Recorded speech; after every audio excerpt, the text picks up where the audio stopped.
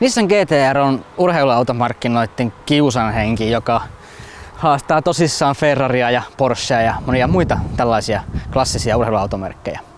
Uusittu GTR kiihtyisi nyt jo 2,8 sekunnissa 0-100, mutta onnettomien sattumusten kautta meillä on tämä vanha malli, jossa tehoa on vielä hieman vähemmän. Mutta kai kesäpäivän voisi huonomminkin viettää kuin tämän GTR kanssa.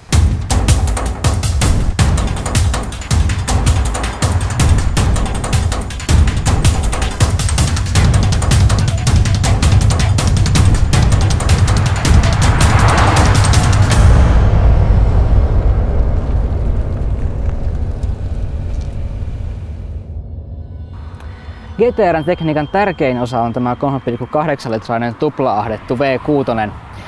Tässä vanhemmassa mallissa se kehittää noin 480 hevosvoimaa, uusitussa noin 550.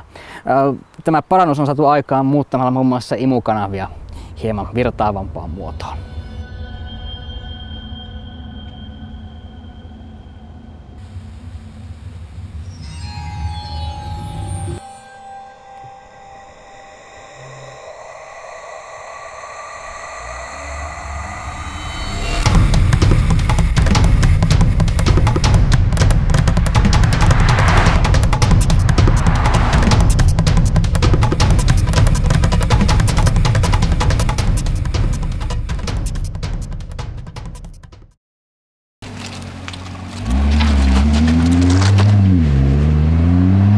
GTRn suorituskyky on lähinnä hämmästyttävä, etenkin turbojen heräämisen jälkeen.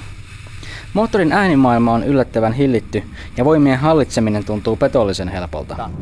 Tämä on ohjaukselta todella tarkka ja jousitus on toki kova, mutta ei mitenkään sellainen liian kova, vaan juuri sellainen kuin tällaisessa autossa pitääkin olla. Ja mitä tämä kestää mutkanopeuksia, niin sitä ei Suomessa pysty vakiotiellä kokeilemaan.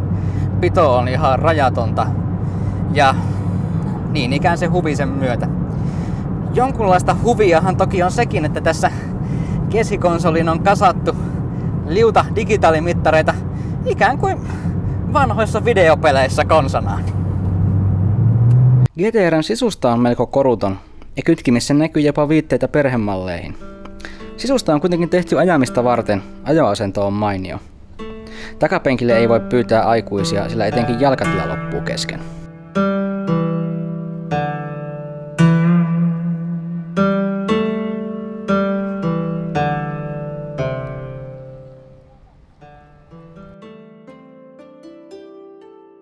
Kokonaisuutena tämä Nissan GTR on aika sykähdyttävä auto. Tämä on todella nopea, tarkka ajaa.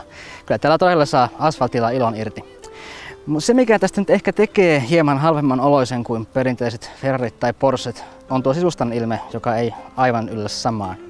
Mutta aito, oikea urheiluauto se joka tapauksessa on.